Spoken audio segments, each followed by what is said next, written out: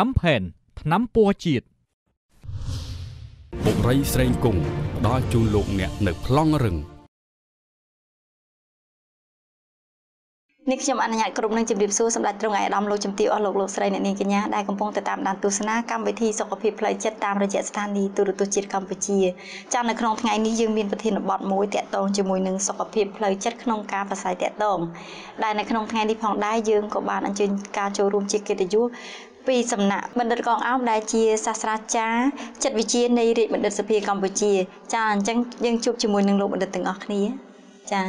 អញ្ញាជំរាបសួរលោកបណ្ឌិតចានាងវិធីការនីបាទចាសូមអរគុណលោកបណ្ឌិតដែលនៅក្នុងថ្ងៃនេះបានផ្ដល់កិត្តិយសចូលរួមនៅក្នុងកម្មវិធីរបស់យើងតាមរយៈកម្មវិធីសុខភាពផ្លូវចិត្តចា៎បាទខ្ញុំសូមអរគុណផងដែរចំពោះស្ថានីយ៍ទូទស្សន៍ជាតិដែលតែងតែអញ្ជើញខ្ញុំបាទមកចូលរួមក្នុងកម្មវិធីតកតើនឹងជំនាញរបស់ខ្ញុំបាទបាទសូមអរគុណបាទចា៎ចាអរគុណលោកបណ្ឌិតដោយសារតែនៅក្នុងថ្ងៃនេះយើងមានប្រធានបទយើងតកតងជាមួយនឹងសុខភាពផ្លូវចិត្ត នៅក្នុងការប្រស័យតាក់ទងអញ្ចឹងនាងខ្ញុំមានសំណួរជាច្រើនដើម្បីចង់ជំរាបសួរលោកចាតែសំណួរទី1នេះ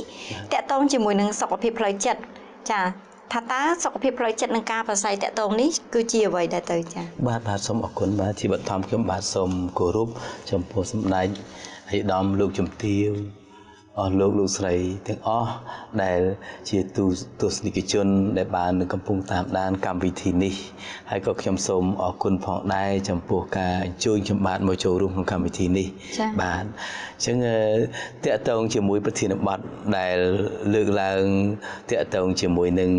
សុខភាពផ្លូវចិត្តក្នុងការប្រស្រ័យតកតងនេះ គឺជាប្រធានបទមួយដែលសំខាន់ដែលតកតងជាមួយនឹងការប្រើប្រាស់នៅចិត្តវិទ្យាក្នុងការទំនាក់ទំនងគ្នាប្រចាំថ្ងៃអញ្ចឹងពាក់ព័ន្ធជាមួយនឹងសំណួររបស់ពិធីការនីដែលបានលើកឡើងថាតើសុខភាពផ្លូវចិត្តនិងការប្រស្រ័យទាក់ទងនឹងជាអីទៅនោះគឺខ្ញុំបាទសូមបែកជា2ដើម្បីបញ្ជាក់ជូនថាទី1គឺសុខភាព ផ្លូវចិត្តហើយនឹងទី2គឺជំនាញក្នុងការប្រស្រ័យទាក់ទងអញ្ចឹងកាលណាយើងនិយាយអំពីសុខភាពផ្លូវចិត្តគឺក៏មានពីរទៀតគឺសុខភាពហើយនឹងចិត្តបាទអញ្ចឹងកាលណានិយាយពីសុខភាព គឺវាមានសុខភាពផ្លូវចិត្តហើយនឹងសុខភាពផ្លូវកាយអញ្ចឹងតាក់ទងជាមួយនឹងសុខភាពផ្លូវចិត្តនេះ គឺយើងត្រូវស្គាល់អំពីចិត្តនឹងជាអីទៅបន្តិចសិនដែរព្រោះថាចិត្តរបស់យើងនឹងគឺជា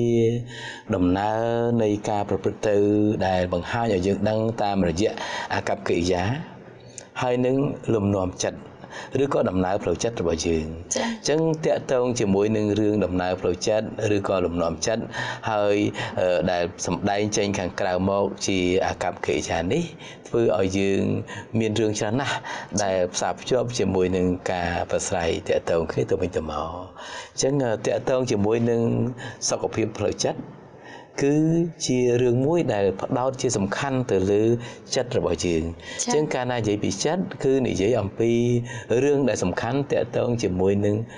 ខួរក្បាលរបស់យើងដែលហៅថា brain នោះ បាទអញ្ចឹងខួរក្បាលរបស់យើង គឺជាកន្លែងមួយសំខាន់ណាស់ដែលចាត់ទុកថាសំខាន់មែនទែននៅក្នុងការងារ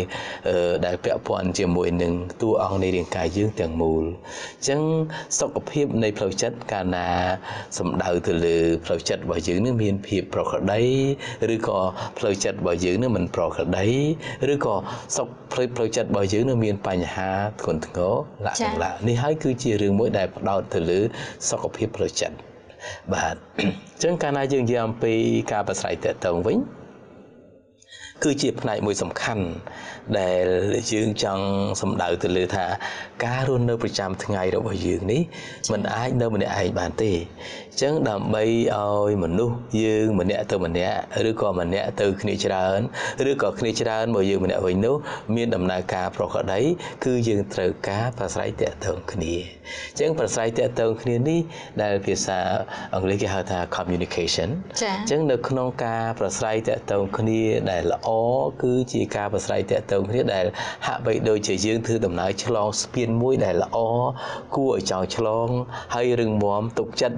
នៃស្ពាននោះដើម្បីធ្វើឲ្យព័ត៌មានទាំងឡាយដែលយើងត្រូវបញ្ជូនតាមរយៈស្ពានដែលយើងត្រូវឆ្លងនេះបានស្រួលបានល្អអញ្ចឹងដើម្បីឲ្យដំណើរការនៃការបញ្ជូនព័ត៌មានពីតួអង្គនៃអ្នកប្រស្រ័យតាក់ទងទៅតួអង្គនៃអ្នកទទួលការប្រស្រ័យតាក់ទងដើម្បីមានលក្ខណៈទៅវិញទៅមក នេះហើយគឺជាការប្រស្រ័យតាក់ទងអញ្ចឹងការប្រស្រ័យតាក់ទងវាអាចមានជំនាញទៅទៀតអញ្ចឹងកាលណាយើងចង់คลายទៅជាអ្នកដែលមានការប្រស្រ័យតាក់ទងល្អយើងត្រូវតែសិក្សាអំពីជំនាញក្នុងការប្រស្រ័យតាក់ទងចា៎អញ្ចឹងកាលណានិយាយអំពីជំនាញក្នុងការប្រស្រ័យតាក់ទងនេះគឺជាបច្ចេកទេសគឺជាយុទ្ធសាស្ត្រ ដើម្បីឲ្យដំណើរការនៃការប្រស្រ័យទាក់ទងយើងនឹងបានជោគជ័យគឺទៅដល់គោលដៅដែលយើងចង់បាន ដើម្បីបំរើនៅផលប្រយោជន៍ដែលយើងរស់នៅក្នុងសង្គមយើងត្រូវបំរើផលប្រយោជន៍នេះជូនសង្គមស្របតាមច្បាប់សង្គមស្របតាមការទៀមទារបស់សង្គមដែលចង់បាន គ្រួសារយើងក៏ចឹងដែរបាទគឺយើងមានគ្រួសារដែលជាទីមលុបជ្រៅកោននៅជាមួយគ្នាភាពកក់ក្ដៅនេះគឺក៏ត្រូវការប្រស្រ័យទាក់ទងដើម្បីធ្វើម៉េចដើម្បីឲ្យគ្រួសាររបស់យើងនឹងរស់នៅក្នុងភាពសុខដុមគឺថាសមស្របទៅនឹងច្បាប់សង្គមសមស្របទៅនឹងវប្បធម៌សង្គមសមស្របទៅនឹងអ្វីដែលជាតម្រូវការចាំបាច់តាក់ទងជាមួយនឹងគ្រួសាររបស់យើងនៅក្នុងសង្គម ហើយក៏រឿងសំខាន់ពិសេសទៅទៀតគឺថាការប្រស្រ័យតកតងនឹងគឺថាយើងផ្ទាល់ខ្លួននឹងហើយ យើងត្រូវស្គាល់ពីខ្លួនយើង ដើម្បីធ្វើការប្រស្រ័យទៅវិញទៅមកនឹងមានភាពរលូនជាមួយគ្នា យើងយល់ពីខ្លឹមសារនៃការប្រស្រ័យតកតងនោះតកតងរឿងអ្វីដើម្បីឲ្យរឿងនោះវាមានភាពរលូនជាមួយនឹងដំណើរការនៃការប្រស្រ័យតកតងរវាងបុគ្គលនិងបុគ្គលនោះហើយយើងត្រូវស្គាល់ជាមួយនឹងទីតាំងនៃកន្លែងដែលយើងត្រូវធ្វើការប្រស្រ័យតាក់ទងនោះថាតើទីតាំងនោះវាអំណោយផលឲ្យយើងធ្វើការប្រស្រ័យតាក់ទងនោះបែបណា ដូចជាពាក់ព័ន្ធជាមួយនឹងផ្នែកវិស័យផ្សេងផ្សេងដែលទីតាំងនោះវាបញ្ជាសកម្មភាពរបស់យើងឲ្យយើងប្រស្រ័យតាក់ទងឲ្យសមស្របដោយយើងប្រើចំណេះដឹងទៅលើផ្នែកផ្សេងផ្សេងជាច្រើនជាពិសេសដោយសារការប្រស្រ័យតាក់ទងมันអាចទៅឆ្ងាយពីចិត្តវិទ្យាបានទេ គឺនៅគៀកនោះ អញ្ចឹងត្រូវស្គាល់ផងដែរការប្រស្រ័យទាក់ទងនេះវាផ្សារភ្ជាប់ជាមួយនឹង ពេលវេលាដែលតម្រូវឲ្យយើងធ្វើការប្រស្រ័យទាក់ទងនេះมันអាចធ្វើឲ្យការប្រស្រ័យទាក់ទងវាយូរពេកឬក៏ខ្លីពេកវាសមស្របទៅតាមនឹងខ្លឹមសារនៃការប្រស្រ័យទាក់ទងរបស់យើងអញ្ចឹងការសិក្សាអំពីជំនាញនិងការប្រស្រ័យទាក់ទងត្រូវស្គាល់ធ្វើម៉េចឲ្យយើងបានយល់ច្បាស់នៅរឿងទាំងឡាយនេះក៏ជាពិសេសទៅទៀតគឺយើងមិនអាចភ្លេចបានទេថាការប្រស្រ័យទាក់ទងយើងសុទ្ធតែមានគោលបំណងទាំងអស់ គោលបំណងនោះវាបំរើផលប្រយោជន៍អ្វីដើម្បីសង្គមជាតិយើងដើម្បីជាប្រយោជន៍ដល់សង្គមយើងដើម្បីជាប្រយោជន៍ដល់ក្រុមគ្រួសាររបស់យើងដើម្បីជាប្រយោជន៍ដល់ខ្លួនយើងដែលរស់នៅក្នុងសង្គមសមស្របទៅតាមទៀមទារបស់សង្គមមិនធ្វើឲ្យសង្គមពិបាកដោយសារយើងហើយជារឿងសំខាន់ទៅទៀតគឺថាយើងត្រូវធ្វើយ៉ាងដូចម្តេចដើម្បីឲ្យដំណើរការនៃការប្រស្រ័យទាក់ទងរបស់យើងនេះ ប្រព្រឹត្តទៅក្នុងភាពរលូនហើយវិជ្ជមាននេះហើយគឺជាអត្ថន័យនៃពាក្យទាំងពីរគឺសុខភាពផ្លូវចិត្តនៅក្នុងនឹងការប្រស្រ័យតាក់ទងបាទចាអរគុណលោកបណ្ឌិតអញ្ចឹងនេះខ្ញុំនៅមានសំណួរមួយទៀតបាទសូមជឿបាទបាទតកតងជាមួយនឹងសំណួរនេះតើថាតើហេតុអ្វីបានជាចិត្តយើងនឹងមានសារៈសំខាន់នៅក្នុងការទំនាក់ទំនង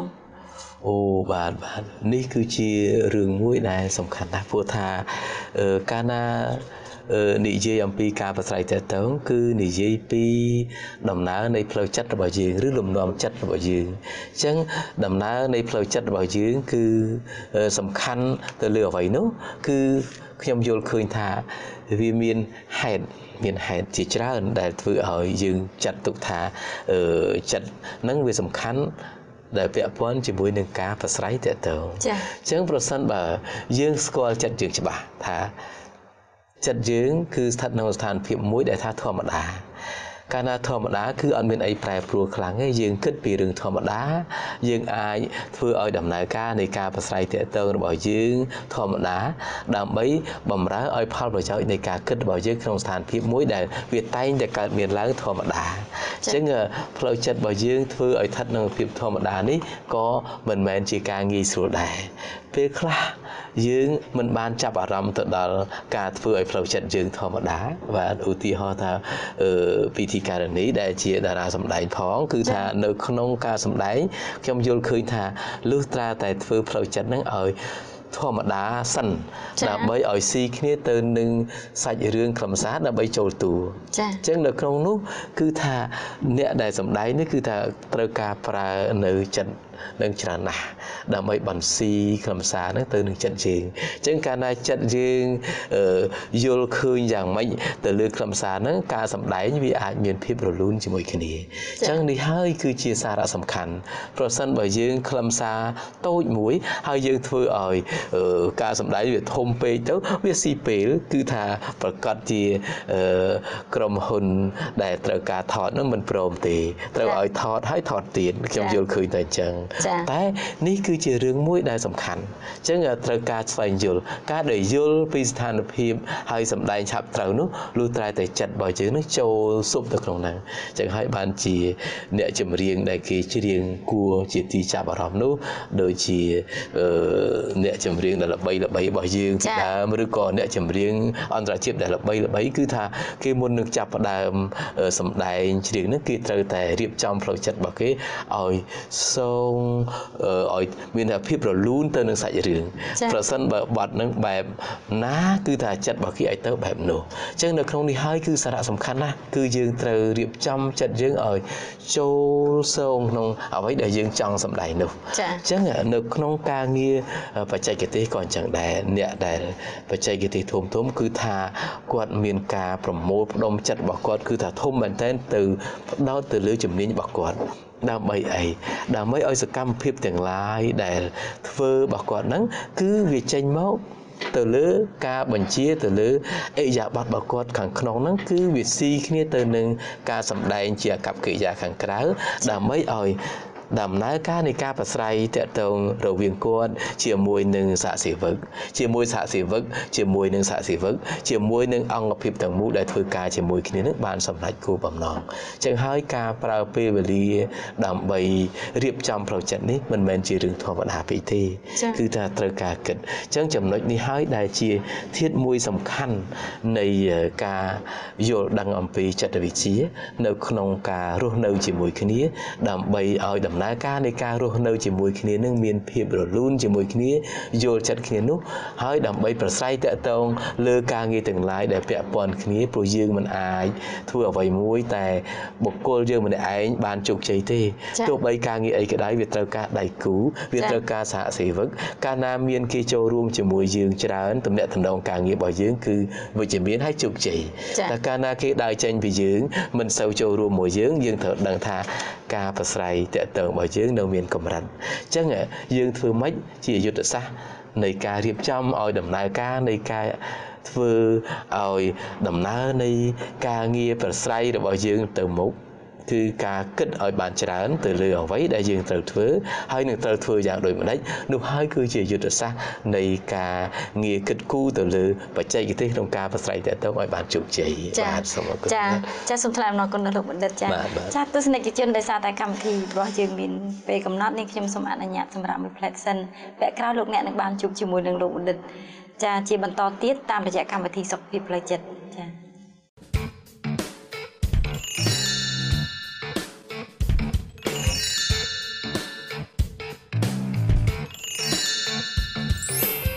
ចាម្សៅបៀកដែលល្អគ្មានគូប្រៀប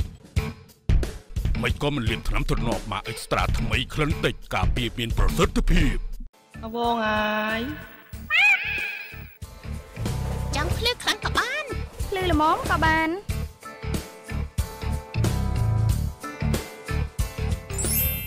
Campaign ថ្នាំពណ៌ជាតិ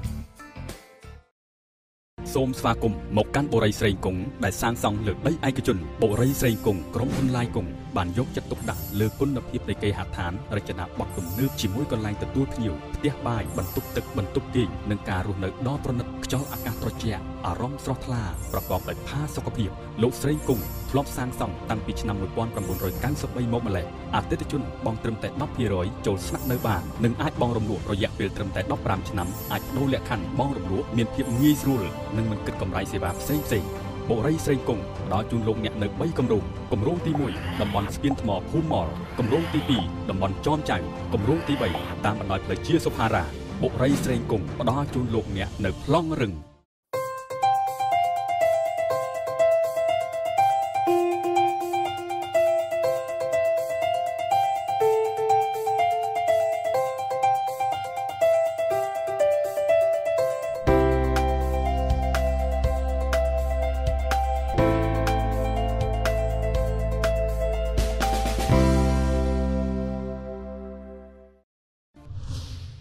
ហាំផែនថ្នាំពណ៌ជាតិបុរីស្រេងគង់ផ្ដល់ជូនលោកអ្នកនៅប្លង់រឹងចាស់គុណទស្សនិកជនវិលមកជួប នៅក្នុងកម្មវិធីរបស់យើងតាមរយៈសុខភាពផ្លូវចិត្តនៅក្នុងវគ្គទី2ជាបន្តទៀតដែលនៅក្នុងថ្ងៃនេះវាគ្មិនកិត្តិយសចូលរួមនៅក្នុងកម្មវិធីរបស់យើងគឺលោកបណ្ឌិតកងអោមដែលជាសាស្ត្រាចារ្យចិត្តវិទ្យានៃរាជបណ្ឌិតសភាកម្ពុជាចាអញ្ចឹងនេះខ្ញុំនៅមានសំណួរជាបន្តទៀតដើម្បីជំរាបសួរដល់លោកបណ្ឌិតចាចាអរគុណលោកបណ្ឌិតអញ្ចឹងនៅក្នុងវគ្គទី2នេះនេះខ្ញុំនៅមានសំណួរមួយទៀតតកតងជាមួយនឹងប្រធានបទរបស់យើងគឺសុខភាពផ្លូវចិត្តនិងការប្រស្រ័យតកតងបាទបាទចាអញ្ចឹងនេះខ្ញុំចង់ជំរាបសួរលោកតកតងជាមួយនឹង តើយើងគួរធ្វើយ៉ាងដូចម្តេចដើម្បីឲ្យយើងទទួលបានជោគជ័យចា បាទបាទសូមអរគុណបាទអឺនៅក្នុងសំណួរដែលថាតើយើងត្រូវធ្វើដូចម្តេចនេះនេះហើយគឺជាយុទ្ធសាស្ត្របាទនេះហើយគឺជាបើយើងនិយាយពាក្យសាមញ្ញថាបច្ចេកទេសអឺធ្វើយ៉ាងម៉េចបាទអញ្ចឹងនៅក្នុងអ្វីដែលយើងត្រូវធ្វើហើយនឹងកំពុងធ្វើហើយដើម្បីទៅដល់ជោគជ័យនឹងហើយគឺជាលក្ខណៈសំខាន់ពិសេស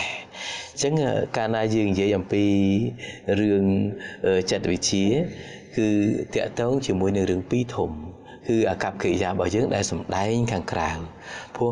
កាលណានិយាយពីអាកប្បកិរិយា គឺជាអ្វីដែលជាសំដែងឲ្យឃើញ ខាងក្រៅនេះដូចជាទឹកមុខដូចជាកាយវិការដូចស្អីទាំងអស់ដែលចេញមកខាងក្រៅដែលអឺ ត្រូវបានគេពិនិត្យសង្កេតភាសាបរទេសគេនិយាយថា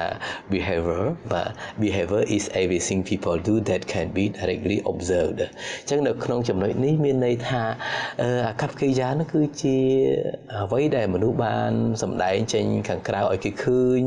ហើយត្រូវបានគេពិនិត្យសង្កេតគេអាចយល់បានទៅលើសកម្មភាពផ្លូវចិត្តរបស់យើងអញ្ចឹងនៅក្នុងនេះគឺជារឿងមួយសំខាន់ណាស់យើងត្រូវធ្វើម៉េច ប៉ុន្តែដើម្បីឲ្យមានអាខាងក្រៅហ្នឹងក៏យើងត្រូវតែមានការយល់ដឹងមួយជាសំខាន់ចា៎ដែលយើងនិយាយថាមារយាទឬក៏កិរិយារបស់យើងដែលភាសាបច្ចេកទេសហៅថាអិរិយាបថឥរិយាបថគឺជា attitude ចា៎ចឹងអិរិយាបថគឺនៅក្នុងចិត្តយើងខាងក្នុង កាលណាយើងនិយាយពីអិរិយាបថរបស់យើងក្នុងការធ្វើអ្វីមួយ មានន័យថាជាការបញ្ជាចេញមកដើម្បីឲ្យយើងធ្វើខាងក្រៅឲ្យយើងគេឲ្យគេឃើញអញ្ចឹងកាលណាពាក់ព័ន្ធជាមួយនឹងអិរិយាបថនេះវាត្រូវពាក់ព័ន្ធជាមួយនឹងពីរទៀតធំធំៗគឺទី1គឺត្រូវមានចំណេះដឹង ចាបាទត្រូវចំណេះដឹងដែលពាក់ព័ន្ធគ្នា ហើយមួយទៀតត្រូវមានជំនាញជំនាញបាទអញ្ចឹងអាចា៎ចំណេះដឹងជំនាញនេះវាត្រូវពាក់ព័ន្ធជាមួយនឹងអេយប័តនឹងឯងដែលចា៎ភាសាបច្ចេកទេសក្នុងវិស័យអប់រំគេហៅថាជាអឺ ណែចំណេះដឹងសម្បទាជំនាញសម្បទាហើយនឹងបំណិនសម្បទាអញ្ចឹងនៅក្នុងលក្ខណៈនៃអេយប័តនេះវាត្រូវការតាក់ទងជាមួយនឹង knowledge ដែលហៅថាជាចំណេះដឹងរបស់យើង យើងយល់ដឹងពីរឿងហ្នឹងយើងចេះច្រើន ពេលខ្លះចំណេះដឹងរបស់យើងអត់បាន ទៅរៀនអីជាបណ្ដុំបណ្ដាលច្រើនទេក៏ប៉ុន្តែឆ្លងតាមរយៈនៃការអឺធ្វើដដែលដដែលច្រើនដងបាទដូចជាពិធីការនីពិធីកចា៎ឬក៏តារាសម្ដែងនេះគឺគាត់អឺមានការសម្ដែងច្រើនច្រើនទៅក៏គាត់ដឹងគាត់ចេះច្រើនណាស់ឡើយហ្នឹងចា៎អញ្ចឹងនៅពេលដែលគាត់សម្ដែង គឺថាធ្វើឲ្យអឺចំណេះដឹងរបស់គាត់នឹងមានអញ្ចឹងអាប្រកបជាមួយរួមផ្សំជាមួយនឹងជំនាញរបស់គាត់ដែលអាជីពខាងហ្នឹងផងចាអញ្ចឹងធ្វើឲ្យការងារសម្ដែងរបស់គាត់នឹងបានជោគជ័យធ្វើឲ្យទំនាក់ទំនងដល់អ្នកដែលជាទស្សនិកជន គេមានការ ចាប់ផ្ដោតអារម្មណ៍មកលើនេះហើយគឺជាបំណងប្រាថ្នារបស់អឺអ្នកសម្ដែងដែលធ្វើឲ្យអ្នកដែលចូលរួមក្នុងការចូលរួមក្នុងការទស្សនិកទស្សនានៅភាពយន្តឬក៏ទស្សនានៅខ្លឹមសារហ្នឹងចាប់អារម្មណ៍ចា៎អញ្ចឹងពាក់ព័ន្ធជាមួយនឹងអឺរឿងថាធ្វើយ៉ាងម៉េចនេះគឺថាយើងត្រូវយល់ឲ្យច្បាស់អំពីថាតើណែ ការប្រស្រ័យតាក់ទងជាមួយរឿងអីកុំឲ្យខ្ទាតន័យចា៎បាទខ្ទាតន័យឆ្ងាយពីចា៎ប្រធានបទដែលយើងត្រូវប្រស្រ័យតាក់ទងតែកាលណាទៅឆ្ងាយវាពិបាកប្រមូលមកវិញទី2គឺតាក់ទងជាមួយនឹងស្អីដែលមនុស្សដែលត្រូវការប្រស្រ័យនោះជាមនុស្សដែលស្ថិតនៅក្នុងប្រភេទណាស្អីក៏ដោយវាត្រែងតែមានប្រភេទចា៎មនុស្សនោះជាប្រមើលដែលមានកម្រិតយើងថាជាមនុស្សដែលសំខាន់ណាស់ គាត់ជាមនុស្សដែលមានតួនាទីភារកិច្ចខ្ពស់ដែលគួរជាទីគោរពយើងអាចយល់ថាគាត់ជាមនុស្សដែលសំខាន់យើងត្រូវស្គាល់ទីតាំងរបស់យើងដែលត្រូវការប្រស្រ័យជាមួយគាត់នឹងនៅក្នុងកន្លែងណាចា៎ត្រូវការពិភាក្សាស្គាល់ហើយមួយទៀតគឺថាទីកន្លែងដែលយើងធ្វើការប្រស្រ័យនោះ វាស្ថិតនៅក្នុងបរិយាកាសដែលគួរសមនឹងត្រូវការប្រើពេលប្រមាណ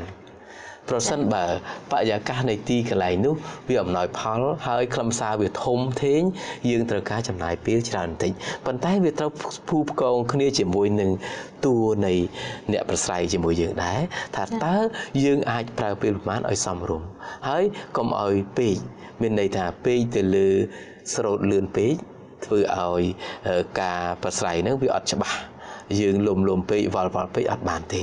ឬក៏យឺតពេកដដែលដដែលពេកធ្វើឲ្យការប្រស្រ័យតាក់ទងហ្នឹងវាមានភាពដូចថាវាផ្អូម ហើយវាអត់វាអត់ចាប់វាអត់តាក់បាទនេះហើយគឺជារឿងដែលជាចំណុចដែលត្រូវគិតហើយមួយទៀតគឺគោលបំណងត្រូវសេតឲ្យបានច្បាស់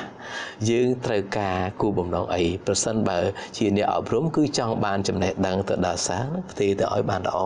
ចង់បានឲ្យសិស្សស្គាល់យល់អំពីតើតើធ្វើធ្វើម៉េចដើម្បីឲ្យគេនឹងមានលក្ខណៈទទួលបានជោគជ័យទទួលបានផលហើយ តើ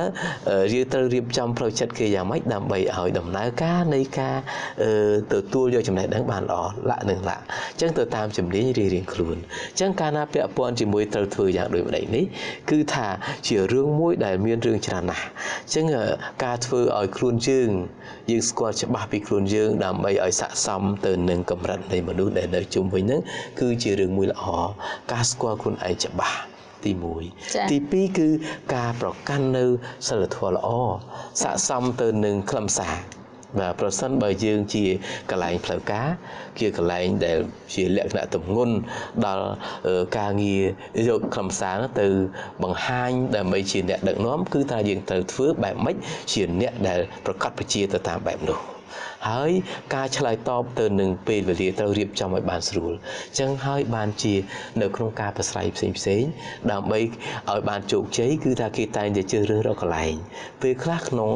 អង្គពិភាក្សាទៅលើកន្លែងការងារដែលខ្លឹមសារសំខាន់សំខាន់គឺมันប្រកាសថានៅក្នុងការិយាល័យទេ គឺថាអាចពេលខ្លះគឺនៅក្នុងកន្លែងប្រជុំនៅក្នុងអង្គភាពពេលខ្លះនឹងអាចទៅកន្លែងផ្សេងផ្សេងដែលជាកន្លែងរមណីយដ្ឋានហើយគេធ្វើការពិភាក្សា ធ្វើការផ្លាស់ប្ដូរយោបល់នៅទីនោះដើម្បីផ្ដល់ឲ្យអញ្ចឹងទីកន្លែងសំខាន់ណាស់វាបញ្ជាសកម្មភាពនៃការប្រស្រ័យរបស់យើងនឹងបានជោគជ័យប្រសិនបើកន្លែងហ្នឹងវាមិនស័ក្តិសមទៅនឹងខ្លឹមសារហ្នឹងក៏អត់កើតដែរអញ្ចឹងការស្គាល់ពីភាពស៊ីគ្នារវាងទម្រង់និងខ្លឹមសារគឺជាតតិចគឺជាបច្ចេកទេសមួយ ដែលឈានទៅដល់ធ្វើឲ្យយើងបានជោគជ័យបាទដើម្បីសម្រេចនៅគោលបំណងរបស់យើង ការធ្វើបានត្រឹមត្រូវទៅលើអ្វីដែលពាក់ព័ន្ធជាមួយនឹងការប្រស្រ័យរបស់យើងនឹងដើម្បីឲ្យទទួលបានជោគជ័យអញ្ចឹងជាសរុបនៅក្នុងចំណុចដែលអ្នកនាងបានលើកឡើងថាតើត្រូវធ្វើដូចម្តេចដើម្បីបានជោគជ័យនៅក្នុងការប្រស្រ័យតាក់ទងនេះគឺជារឿងមួយដែលធំធេងណាស់អញ្ចឹងខ្ញុំយល់ឃើញថាប្រសិនបើក្នុងការប្រស្រ័យរបស់យើងយើងបានរៀបចំផ្លូវចិត្តហើយ ហើយទឹកចិត្តរបស់យើងគឺផ្ដោតទៅលើខ្លឹមសារដែលយើងត្រូវ ប្រស្រ័យជាមួយនឹងប្រធានបទរបស់យើងនឹងហើយហើយធ្វើម៉េចគឺកុំអោយអ្នកដែលចូលរួមប្រស្រ័យជាមួយយើងនឹងខ្ទាតឆ្ងាយពីខ្លឹមសារគោលបំណងដែលយើងចង់បាន ហើយសមស្របទៅនឹងទីតាំងដែលយើងអាចឧទាហរណ៍ថាទីតាំងក្នុងស្ទូឌីយោនេះគឺថាសម្រាប់តែ3 4នាក់ទេប្រសិនបើមកគ្នាច្រើន4 10 20នាក់ពេលនោះឯងការធ្វើថតរបស់នៃកាមេរ៉ាមែនគាត់ពិបាក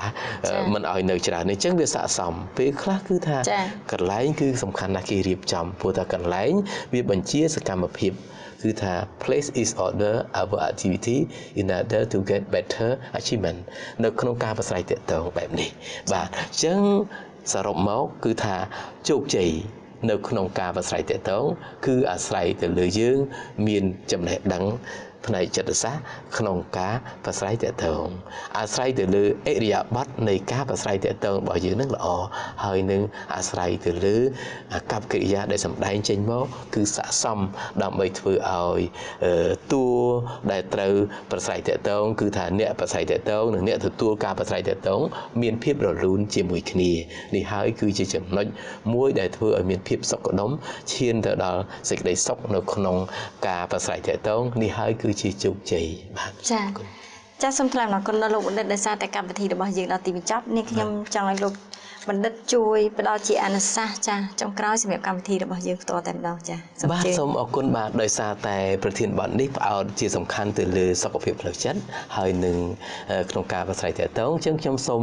អឺលើកឡើងចំណុចមួយដែលសំខាន់គឺថាអឺលើកឡើងអំពីទឹកមុខ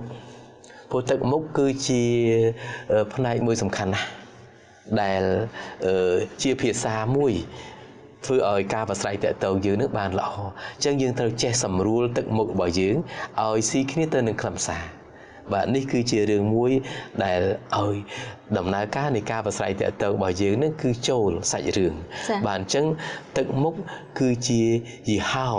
របស់យើងចា៎ម្នាក់ៗក្នុងការប្រស្រ័យតាក់ទងដើម្បីចា៎ធ្វើឲ្យបានជោគជ័យអញ្ចឹងយីហោនេះគឺរឿងសំខាន់ណាស់អញ្ចឹងយើងធ្វើម៉េចកុំឲ្យខូច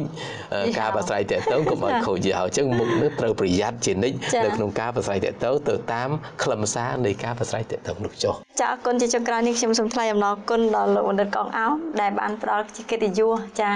ក៏ដូចជាបានផ្ដល់នៅចែកជូននៅចំណេះដឹងតកតងជាមួយនឹងសុខភាពផ្លូវចិត្តជូនដល់ទស្សនិកជនបានទស្សនានៅក្នុងកម្មវិធីរបស់យើងចាហើយដោយសារតែកម្មវិធីរបស់យើងទីដល់ទីបញ្ចប់នេះខ្ញុំក៏សូមអរគុណដល់ទស្សនិកជនទាំងអស់ដែលបានតាមដានទស្សនាកម្មវិធីរបស់យើងតាំងពីដើមរហូតដល់ចប់នេះខ្ញុំក៏សូមជូនពរដល់ទស្សនិកជនទាំងអស់សូមឲ្យមានសេចក្តីសុខនៅក្នុងក្រុមគ្រួសារ ចាសសូមឲ្យការធ្វើដំណើរនេះចុងសប្តាហ៍នេះទទួលបាននៅសុខសុវត្ថិភាពទាំងអស់គ្នាទាំងទៅទាំងមកចាខណៈពេលនេះនាងខ្ញុំរួមជាមួយនឹងលោកបណ្ឌិតកងអោមព្រមទាំងក្រុមការងារក៏សូមអរគុណសូមគោរពលា